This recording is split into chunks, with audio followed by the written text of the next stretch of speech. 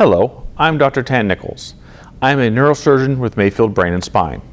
I would like to talk to you about spinal cord stimulators, an important treatment option for people who suffer from chronic pain.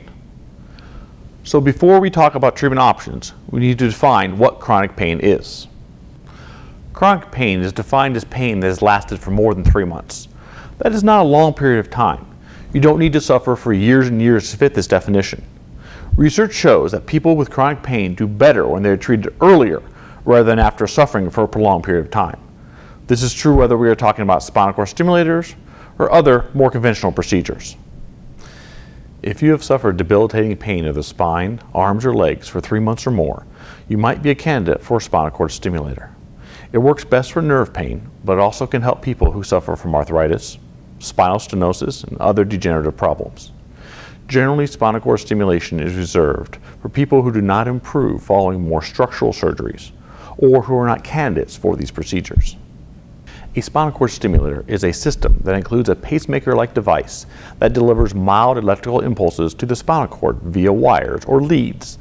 The electrical impulses interrupt pain signals and prevent them from reaching the brain. Spinal cord stimulators have been used in the treatment of chronic pain since the 1960s, and they are continually being updated and improved to optimize patient experience and outcome. I tell patients that getting a spinal cord stimulator is like reupholstering your sofa. The sofa looks better and feels more comfortable, but I wouldn't go jumping on it. The analogy is that you feel better with the stimulator, but it's not changing your spine in any way. One of the best features of spinal cord stimulation is that you can try it out first before undergoing surgery. It's like taking a new car home for a test drive for a few days. The trial procedure lets us know whether the stimulator is likely to be effective for you. If the trial procedure reduces your pain, you can be pretty confident this permanent implant will as well. During the stimulator trial, we insert a small wire into the epidural space around the spinal cord.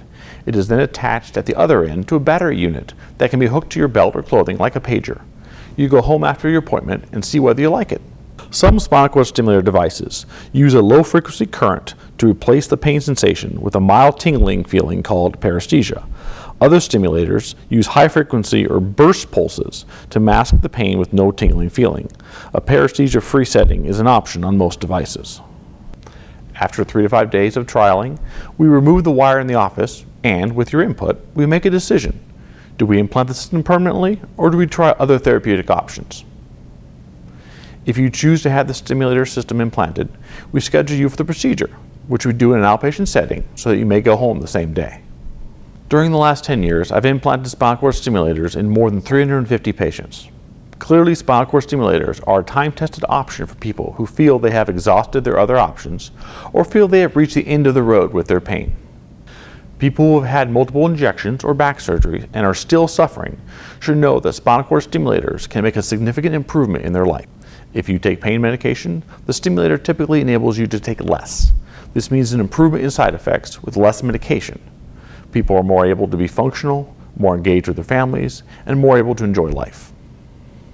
If you have questions about spinal cord stimulators, or if you think you may be a candidate for one, please visit us at mayfieldclinic.com.